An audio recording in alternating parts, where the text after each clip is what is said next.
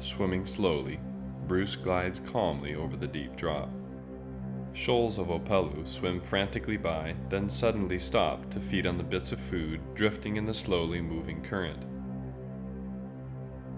Two kahala emerge out of the blue to try to catch a morning snack.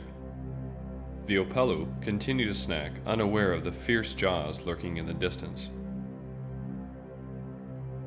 Bruce, noticing the subtle movement, closes in on the barracuda's position. Quietly descending, he makes every movement purposefully. Turning slightly to the left, Bruce takes the shot. Stunned but frightened, the barracuda heads for the deep.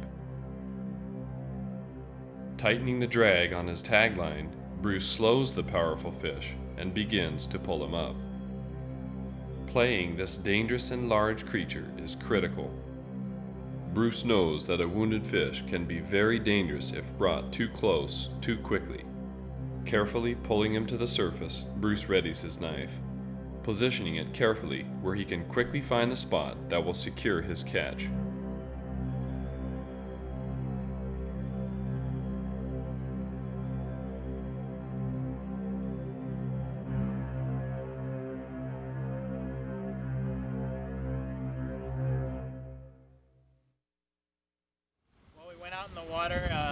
First location because the place we wanted to go was too rough.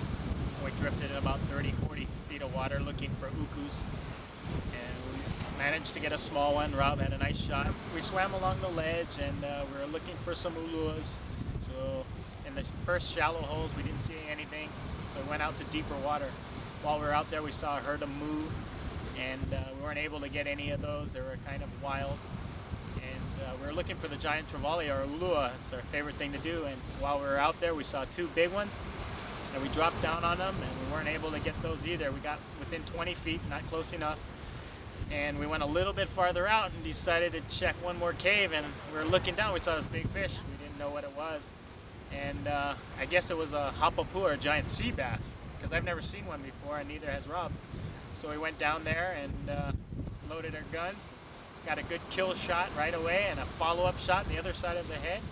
And we just saw the mouth open and the belly blow up and we floated him to the surface and looked to be about 125, 150 pounds. Totally excited because we were about to go in. We made a last ditch effort to get something big. And as we were coming in, the current kind of led up for us, the wind led up for us, and we swam all the way in because it was really bad when we were going out. So really blessed today and I'm happy. My first one.